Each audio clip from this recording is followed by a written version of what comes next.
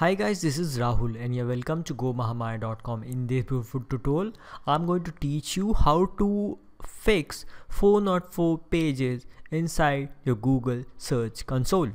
So once you are inside the page section indexing part, then you'll find 404 pages and if you have already put any validation one go to these options and you'll see how many of them got failed and how many of them are pending so if the failed one is there that date you'll find if it's new generated you'll see the dates and if it's old one you'll get a date and they fix your validation very slowly.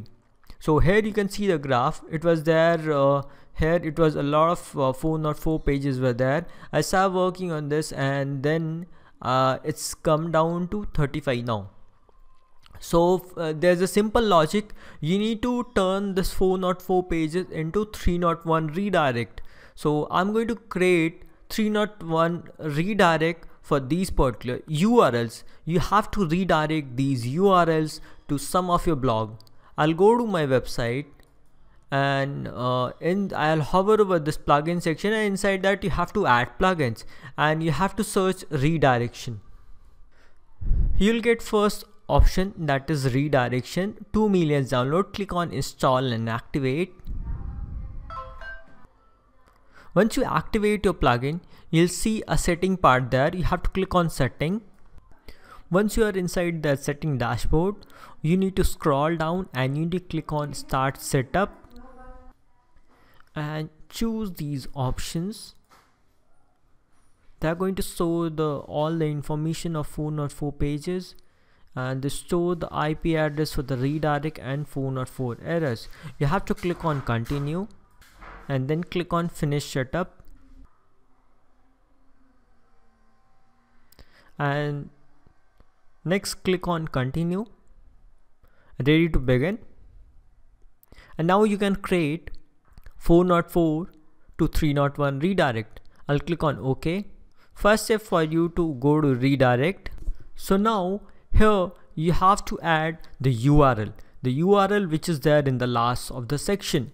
First domain name you don't need to enter because you can only redirect a domain which you own it.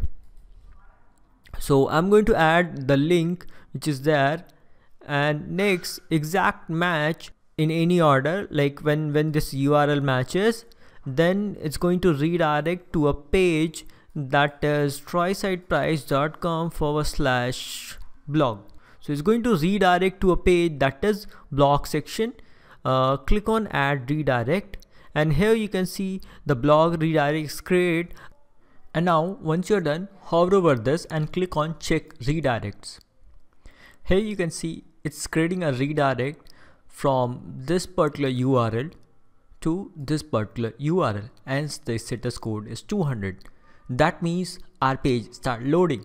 This is the first option that you can do and tell Google that this page is live and this page is permanently redirected to the blog page. Number two option if this page is not important for you then cancel this. Now move to removal one. Inside the indexing you'll see a removal one. Go to this option click on add new request and now enter the URL. Let's say this is URL that I don't want Google to index it. So click on remove this URL and click on next. The URL of this variant will be blocked from the Google search index for the next six months. You click on submit and Google is going to remove such URL from your website. So this is the next solution. I hope you find this video useful. If you did, give thumbs up and subscribe to my channel for more further updates. Thank you.